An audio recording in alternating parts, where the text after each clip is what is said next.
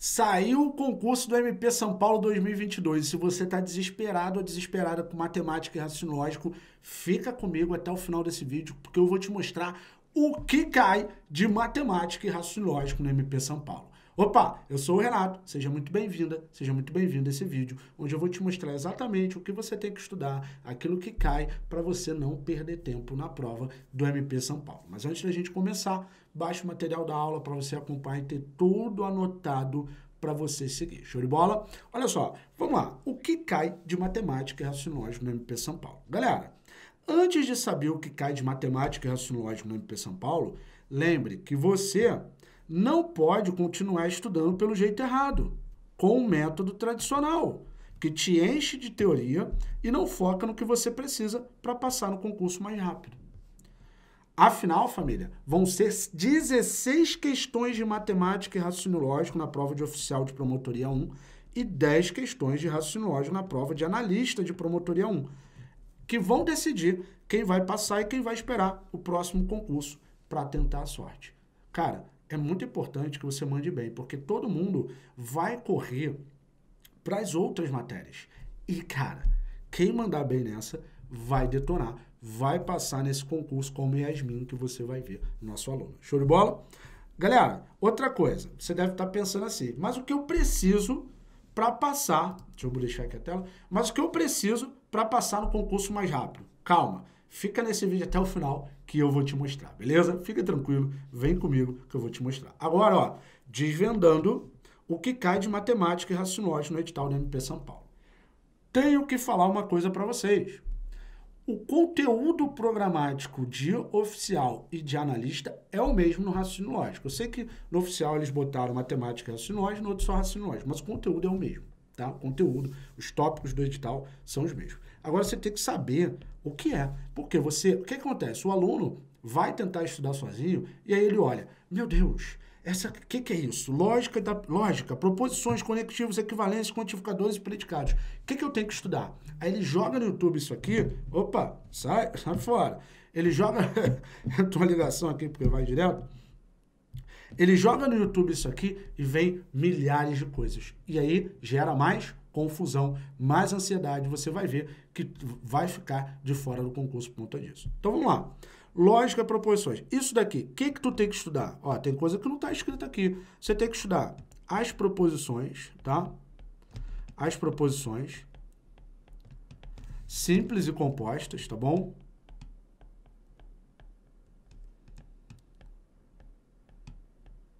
Tem que estudar isso. As proposições simples e compostas. Você tem que estudar negações das proposições. Antes das, antes das negações, né? Deixa eu até botar aqui. Você tem que estudar tabela verdade. Tem que estudar. Não tem jeito. Tem que estudar tabela verdade. Não vai ter para onde fugir. Vai ter que estudar tabela verdade. Você vai ter que estudar, ó. Olha quanta coisa que não está escrito ali. Negações. Negações. Vai ter que estudar equivalências lógicas, que está escrito ali, né?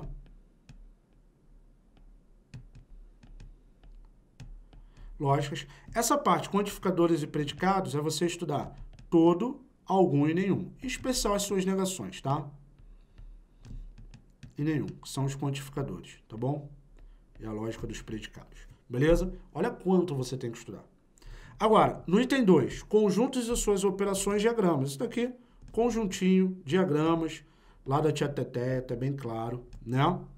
3. Números inteiros, racionais e reais e suas operações, porcentagem. Cara, quando ele bota números inteiros racionais aqui, vale ressaltar do quê? Do MMC e MDC. Tudo bem que a FGV não costuma cobrar muito. Vale ressaltar as frações, tá? Frações. Números reais, cara, intervalos numéricos. Tem uma questão que caiu recentemente na FGV, trabalhando a ideia de intervalos numéricos, diferença, tem que saber, e as operações dele, tá? E porcentagem, tu já sabe. Aqui, ó, olha o perigo. Proporcionalidade direta e inversa. Cara, o que, que eu tenho que estudar? Cara, aqui, olha só. Você tem que estudar razão. Você tem que estudar proporção. Essa é a diferença de você ter um direcionamento. Você tem que estudar regra de três, divisão proporcional, tá bom? Isso tudo. E eles cobram, tá bom? divisão proporcional. Você tem que estudar. Vou até sair daqui para deixar só a tela para você ver melhor. Você tem que estudar regra de três simples e composta.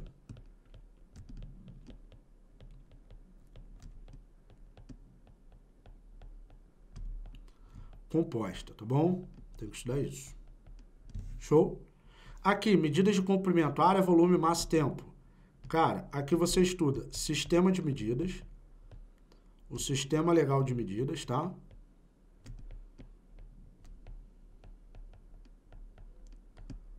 Você estuda também área, especialmente do quadrado e do retângulo. E você estuda volume, especialmente do paralelepípedo e cubo. Show de bola? Você estuda isso. Maravilha? Vamos lá, que ainda tem mais coisa do edital. E essa parte aqui, meu Deus? Você lê, lê, lê e não sabe, ó.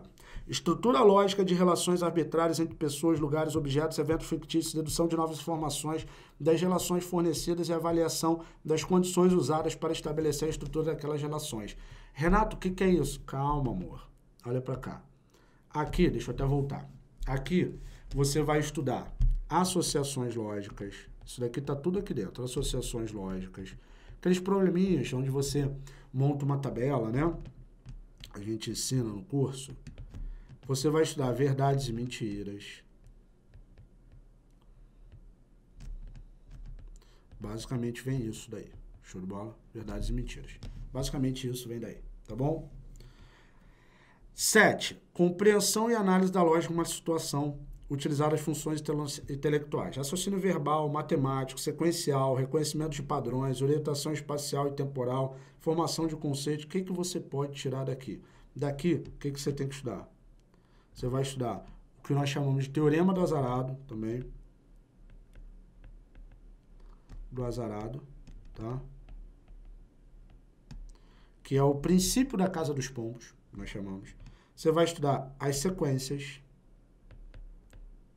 Essa parte de raciocínio matemático, essas coisas todas, tem matemática. Então você já estuda aqui. Ficou meio redundante, né? Tá bom? Você vai estudar também orientação espacial né, que está claro. E o que é orientação temporal? Orientação temporal são os famosos calendários, tá? Calendários. Você tem que estudar. Beleza? Compreensão de dados apresentados em gráficos e tabelas. Isso daqui, galera, compreensão de dados apresentados em gráficos e tabelas, vai aparecer, pode aparecer o tempo todo, tá bom? Pegar a porcentagem, por exemplo, e tirar de um gráfico, de uma tabela. Então, essa parte está ligada a todo outro conteúdo, tá bom? Problemas de lógica e raciocínio, tá tudo ligado lá atrás, entre os problemas do primeiro grau que podem cair, beleza? Então, é isso que você tem que estudar. Maravilha? Você tem que estudar isso. E aí? Imagina só, chega na prova e cai essa questão aqui. Até esse momento, você sem ter, estudando pelo método tradicional, né, provavelmente você viu que o edital saiu e já pensou logo em comprar um curso com todas as matérias. Ou até comprou, mas viu que matemática vai sofrer. Por quê? Lá está o método tradicional, que é o jeito errado de estudar matemática. Por que o jeito errado? Porque ele te foca na teoria e não foca no que tu precisa. Ah, o que eu preciso? Fica comigo que eu vou falar. Aí você lê, ó. Flávio é engenheiro e seu salário é constituído de duas partes. 60% do valor bruto refere-se ao trabalho do escritório e 40% pelas visitas às obras. Flávio foi promovido, com isso, a parte de seu salário referente à visita às obras teve aumento de 100%, mas a outra parte permaneceu igual. Sobre o novo salário, a parte relativa ao trabalho de escritório representa aproximadamente. Aí você, cara, é porcentagem, mas eu não sei nem por onde começar, meu Deus! Aí você sai e fala: Meu Deus, como é que eu vou fazer isso, Renato? Calma, galera, porque eu vou te mostrar agora. Vou responder aquela perguntinha lá do início. Mas o que eu preciso para passar no concurso mais rápido? Galera, você precisa da tríade do método MPP. Mas, Renato, o que é a tríade do método MPP? São três simples técnicas que regem o nosso método e te ensinam como sair do zero e gabaritar matemática e racionais no MP São Paulo em apenas sete semanas.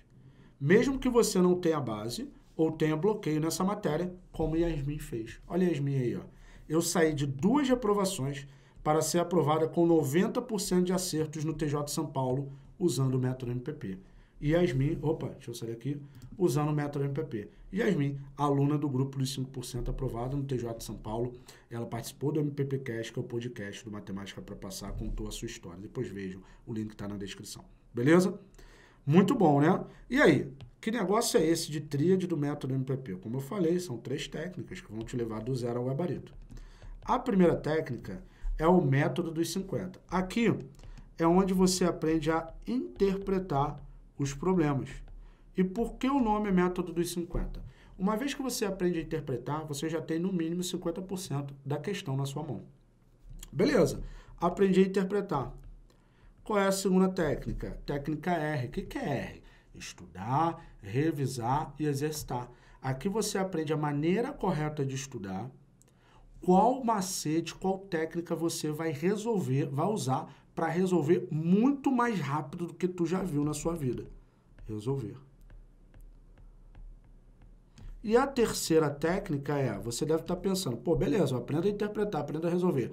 Como é que eu chego na prova e bato o olho na questão e já sei o que ela está pedindo? Aí entra a técnica 2080, que é a parte muita prática. O que, que é técnica 2080? 20% do tempo a gente está na teoria e 80% no exercício. No curso do MP São Paulo, todo assim.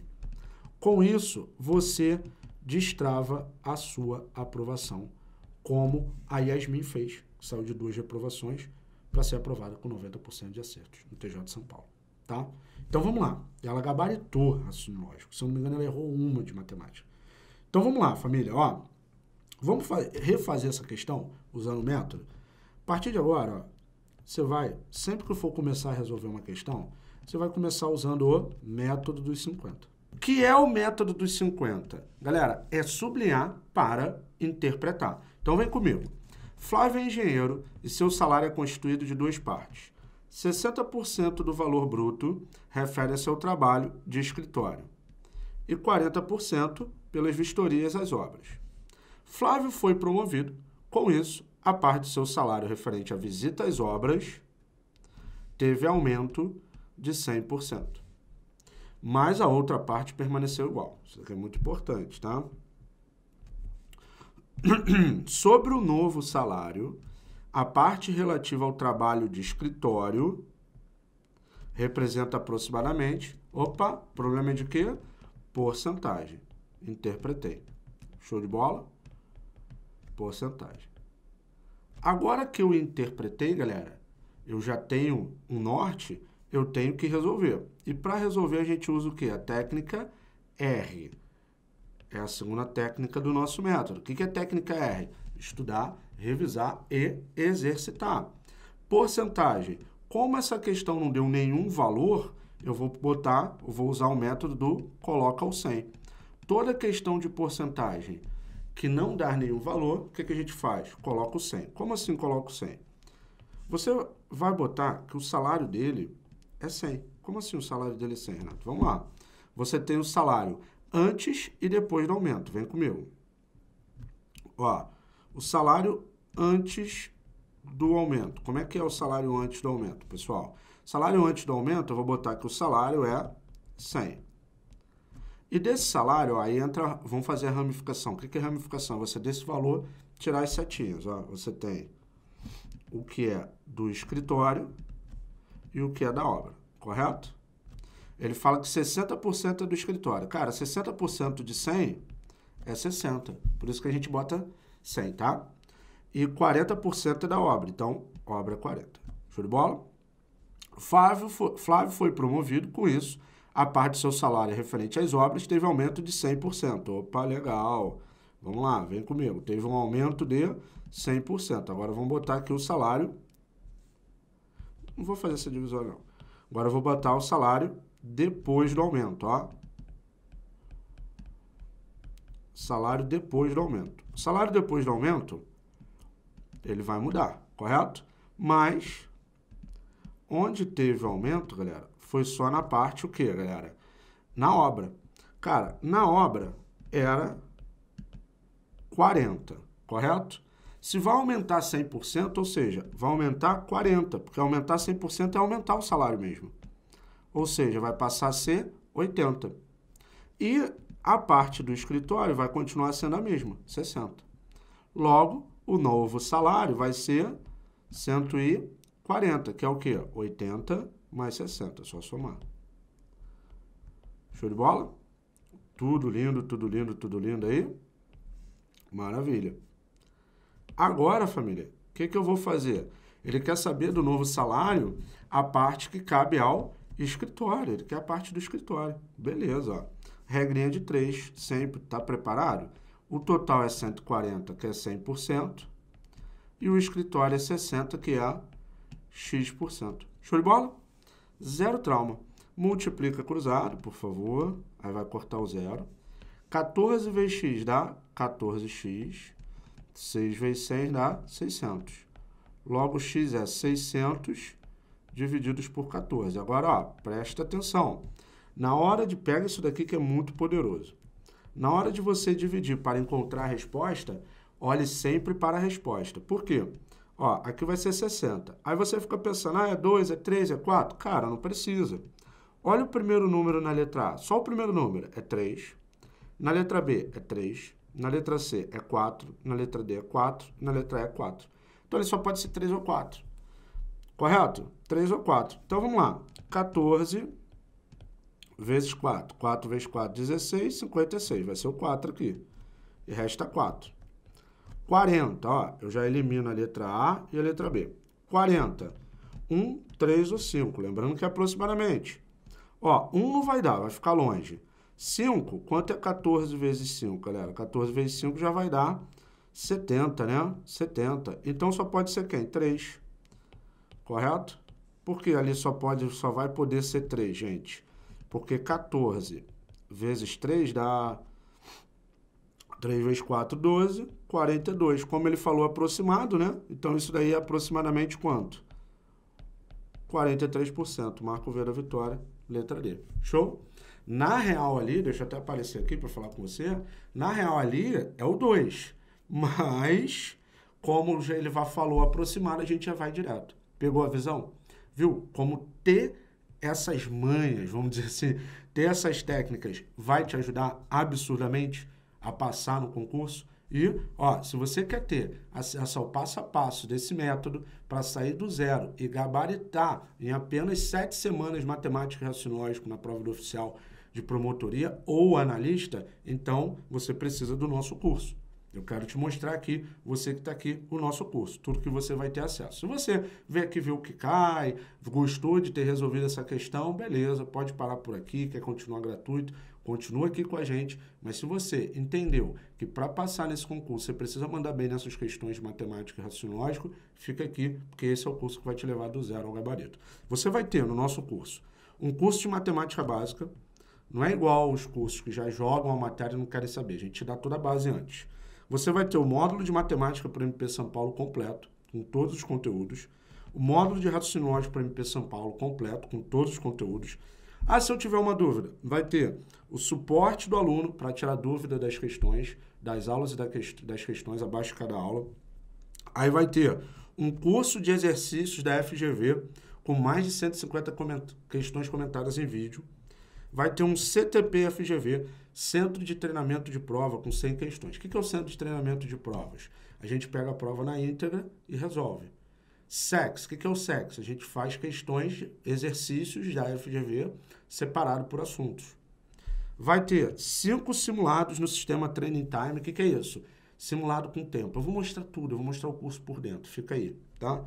E você vai ter aqui a cereja do bolo, o cronograma do zero ao gabarito de matemática e raciocínio lógico no MP São Paulo em apenas sete semanas. Você vai ter um cronograma para seguir as aulas, assistir a aula. Você vai assistir essa aula, essa aula na sequência para você sair do zero e gabaritar. E ainda você vai ter mais seis meses de acesso, tá? Deixa eu sair daqui. Você vai ter mais seis meses de acesso, ou seja, você vai ter um ano de acesso pelo preço de seis meses. Deixa eu mostrar aqui o site por dentro para vocês, tá bom? Ó, vou mostrar aqui o site por dentro para vocês. Deixa eu mostrar. Deixa eu botar aqui o site agora para vocês. Vamos lá. Ó, esse daqui é o nosso site. Quando você chegar, você vai entrar aqui. Após você para acessar o teu curso, você vem aqui, ó, já sou cliente área do aluno, após ter comprado, e vai digitar o seu e-mail aqui. Digitar o seu e-mail e a senha que você usou para comprar. Beleza? Então, seu e-mail e a senha. Aí você vai entrar. Opa, calma aí, você não possui acesso à sala, tá? Você vai entrar aqui em acessar meus cursos, tá? E aí, você aqui tem o meu, tem vários, mas no teu vai estar só lá o MP São Paulo. Aí você vem em vídeo aulas. Maravilha? Olha como é simples, ó. Você vem aqui introdução ao curso. Aqui nós te damos todo o norte, tá? Do que você vai pegar e fazer, tá? Inclusive, vai trocar aqui a aula de o cronograma do curso vai estar aqui. Beleza? Vai ter aula de introdução ao curso mostrando o método MPP para vocês, o cronograma de estudos e vai ter tudo aqui. Show de bola? Aqui, ó, mas já tá ali para você. Ó, o que, que vai acontecer? Se você tiver alguma dúvida, o suporte da dúvida fica aqui, abaixo de cada aula. Você vem, ó, dúvida na aula tal, especifica. Ah, olá, gostaria de dúvida, blá, blá, blá. Você pode mandar arquivo, ó, escolher arquivo, você clica aqui, escolhe um arquivo, pode ser PDF, pode ser doc ou PDF e enviar. Aí você vai ter enviado a sua dúvida, mas calma. A dúvida só chega para a gente após chegar essa, essa mensagem. Seu e-mail foi enviado com sucesso. E aí, você, em até 72 horas úteis, a gente te responde, tá bom? E até 72 horas úteis a gente te responde. Como assim? Ah, mas 72 horas úteis é, pô.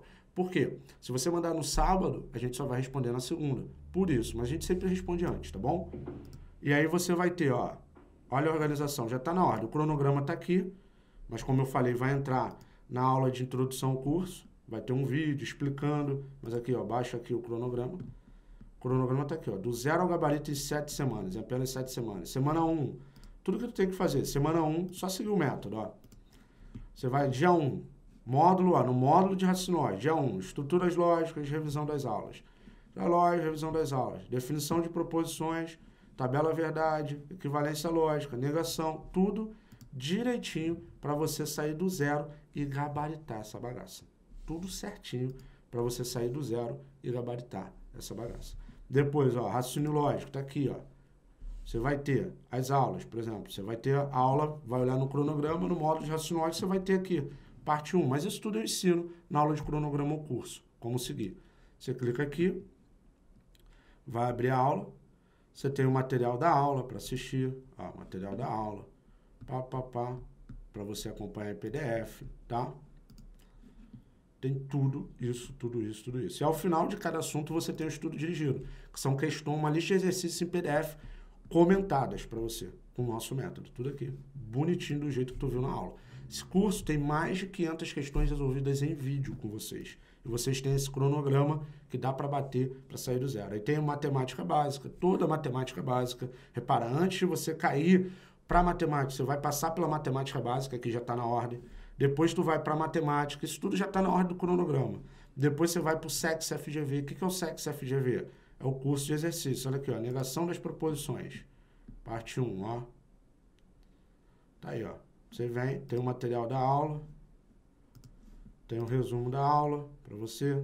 Tudo aqui, lindo, lindo, lindo, lindo para você sair do zero e gabaritar. E aí depois você vai para o CTP FGV, tá tudo na ordem. Os simulados, tem correções de prova, tem imersão MP São Paulo que a gente fez e aulas extras, aulas do YouTube entram aqui para você revisar mais ainda. Então esse curso está pronto para você, para te levar do zero ao gabarito. Mas, Renato, quanto vai custar isso tudo, Renato? Olha para cá, família. Se você somar tudo que tem aqui, tudo que tem no curso, o seu investimento seria de, apenas, seria de 1.716. Mas hoje, o teu investimento vai ser apenas 12 de 30,72 ou 297 à vista. Beleza? Aproveita e compra agora. O link está aqui na descrição ou qualquer coisa envia uma mensagem para o Júlio nesse número de WhatsApp. 97029 9443. Fala com o Júnior no WhatsApp. Vê a mensagem. Quero MP São Paulo nesse WhatsApp que o Júnior vai te responder. Beleza? 12 vezes é no cartão, você pode parcelar em menos. 297 é à vista no cartão ou no boleto. Show de bola? Então tô te aguardando aí pra gente sair do zero e gabaritar em apenas 7 semanas. Beleza? Agora, você sabe o que cai você viu que existe um método focado para no que você precisa, que é interpretar e resolver em muita prática para sair do zero e gabaritar em apenas sete semanas. E você viu também que existe um curso te leva do zero ao gabarito em apenas sete semanas. O link está aqui na descrição, beleza? Esse foi, esse foi o vídeo, espero ter te ajudado, tirando suas dúvidas. Se tu curtiu, já deixa o teu like aí, inscreva-se no canal e ative as notificações para receber mais conteúdos como esse. Um grande beijo, estou ficando por aqui. Esse aqui é o Matemática para Passar, aqui é onde o trauma fica para trás, a matemática é sua aliada e a aprovação no concurso substitui o medo de não passar. Um grande beijo, até uma aula lá no grupo dos 5% no curso do MP São Paulo. Tamo junto!